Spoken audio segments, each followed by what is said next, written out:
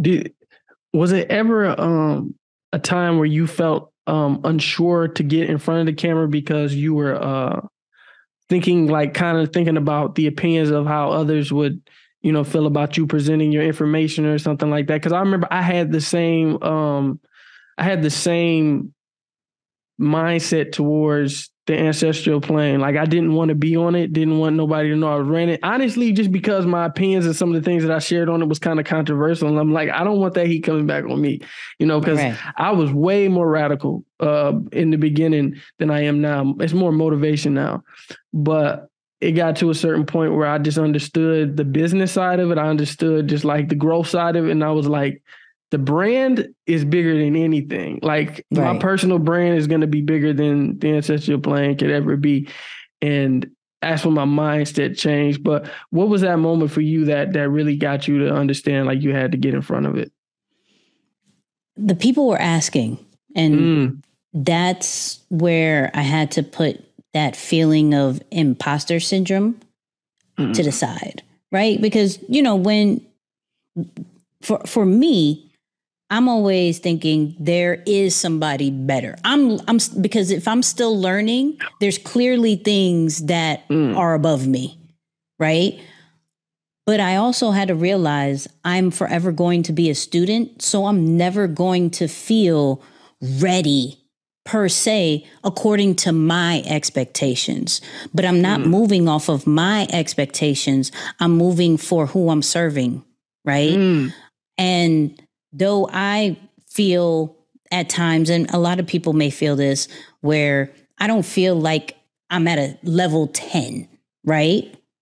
But I have to remember whatever level I'm on, there's people that are level one, level two, level three that need to learn from your level four, five, six, seven, whatever level that you're on.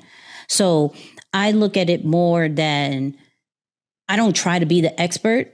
I try to show people what I'm learning. I'm trying to hmm. show people what I've practiced. I'm trying to give out my different experiences, and you guys come along the way.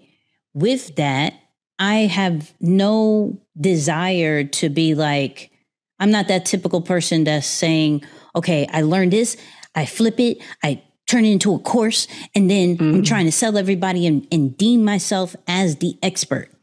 Nah. I give everything away for free for the most part because I'm learning, mm. right? I've I've done these steps about 10 times. Now I can teach it. Here, I tried this. What are we doing? So this is exactly what I'm doing with the AI world right now. There's so many things that's coming out every single week with AI. You think I'm an AI expert? Absolutely not.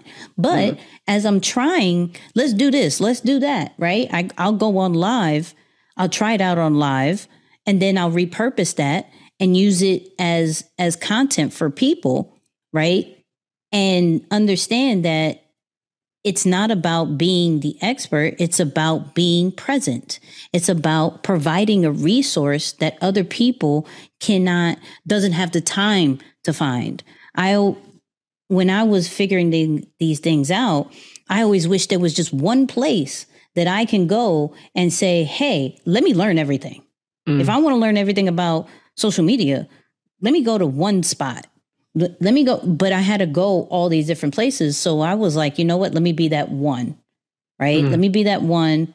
And so that was my whole goal and mission.